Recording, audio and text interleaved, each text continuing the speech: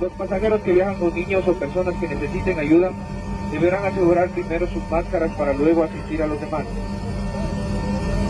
Tengo máscara. Oh, sí, sí, sí. Mami, ¿y de la